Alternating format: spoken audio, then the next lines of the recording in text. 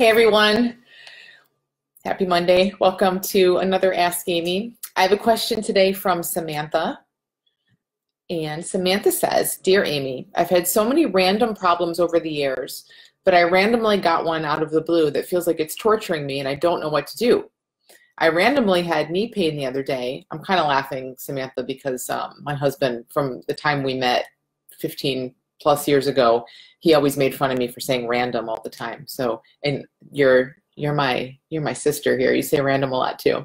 I randomly had knee pain the other day, and ever since then, I've started having really disturbing thoughts about my knees throughout the day, and especially at night when I'm not occupied. I have these really gross thoughts about my knee cracking forwards, and I'm not exactly sure how to explain it, but it's horrific visual thoughts that I can almost feel about my knees that make me so squeamish and disturbed they keep coming around and I can't cope with them. My, my knee pain has physically gone away now, but I'm mentally so bothered by these thoughts and they don't seem to be going away. I don't know what to do. It's literally affecting my sleep at this point. It's such a ridiculous, random, specific anxiety that literally came from out of nowhere and I miss the days when I didn't have it. I know this sounds strange, but these thoughts are making me so miserable and I'm overwhelmed by them and it feels beyond my control and I don't know how to stop being disturbed by them because they genuinely are scary thoughts. Um, thank you so much. I'm sorry if this seems like a joke. It doesn't. Unfortunately, I'm being serious. No, I get it. I get it, Samantha, and I get that. Um, this must sound crazy. This might sound like a joke. It's really out there and yet I'm gripped by it. I think we've all had our own our own version of that experience for sure. Um, you know, the thing that comes to mind, Samantha, first off, I just am coming from a call in the Little School of Big Change where we had Jack Pransky as our guest. And I might be stealing this a little bit, or I might just be influenced by the conversation we just had. But he just asked a woman on on our in our group a question that went something like she was saying i see life this way and it's scary and horrible. He, there was more to it than that but that was the gist of it right? She's saying i see life this way it's scary and horrible. And my friend over here who has way harder life way tougher circumstances way harder life sees life that way and it's not scary and horrible for her yet objectively there's a big difference here. Like anyone on the street would pick my life over hers circumstantially.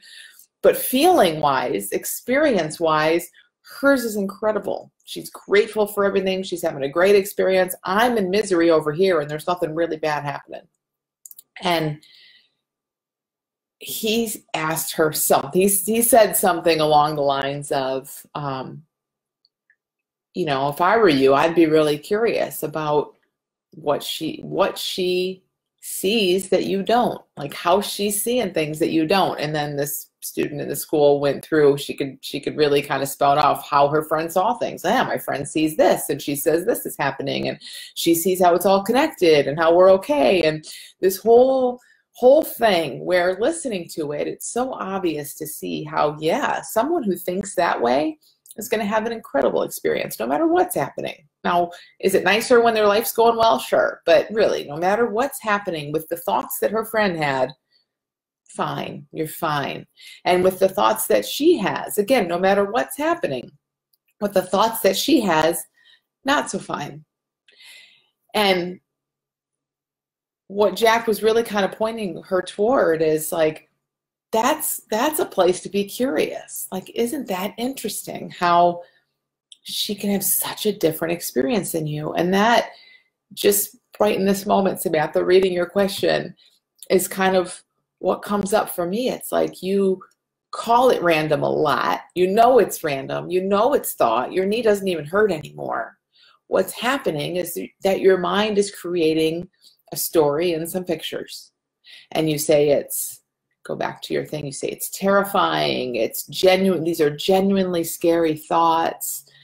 You're it feels beyond your control it's so disturbing it's strange it's making you miserable. And i get that that is your experience of it. But how could that not be? And i don't want you to don't focus on the how like okay let's think about it a different way but could it not be? Let's just say it that way. Could it not be? Of course it could. You could be having this really strange, random, you know, out of nowhere thoughts about your knee and images about your knee. And that could be neutral. It could be funny. It could be something you you laugh about like oh my gosh my brain's worried about my knee again my knees don't even hurt but there goes my mind tell me all these stories about my knee again it could be that. No i'm not saying you samantha should create it that way or that you're wrong because it's not that way. I just want you to see what's possible. Of course that's possible. Of course it is right? It could be anything. It could be terrifying like it is for you. It could be more terrifying than it is for you.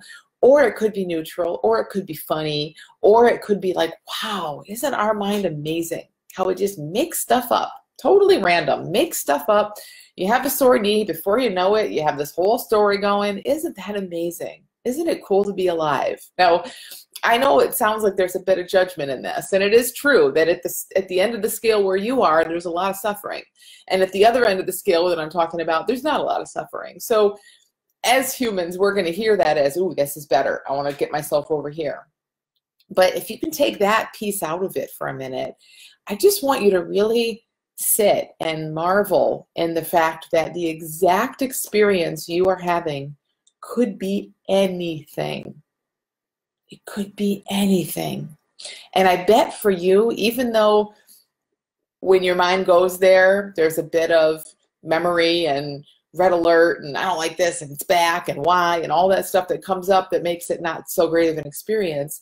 I bet that if you look, even for you, it's a lot of things along that scale, meaning it's not always this horrible, hard, scary experience. I bet your knee and whatever pops into your mind at times and you kind of just get distracted and it goes away or you you know you just have a different a different relationship with it it just doesn't look so big so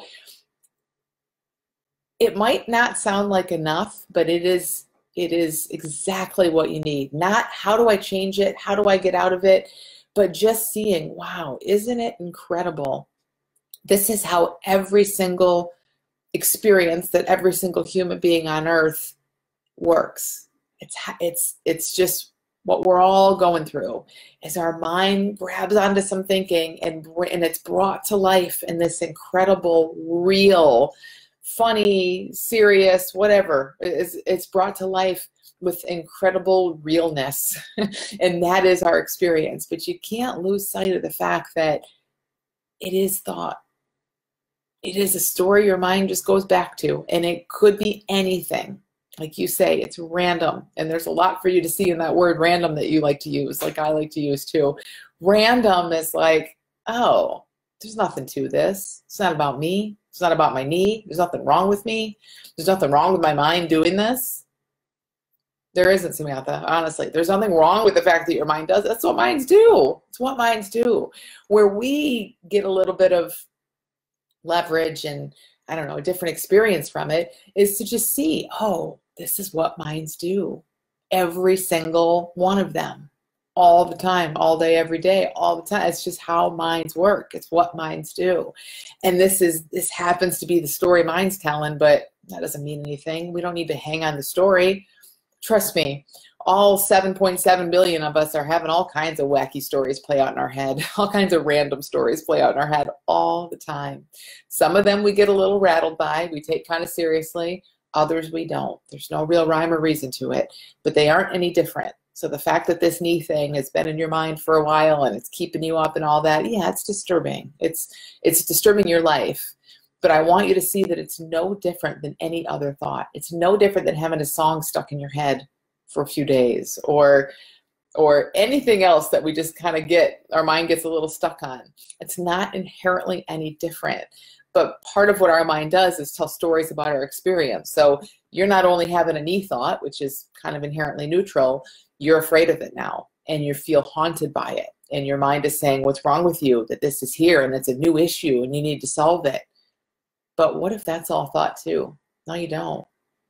No, you don't. The whole thing is thought. The initial thought is thought, the thought after it's thought.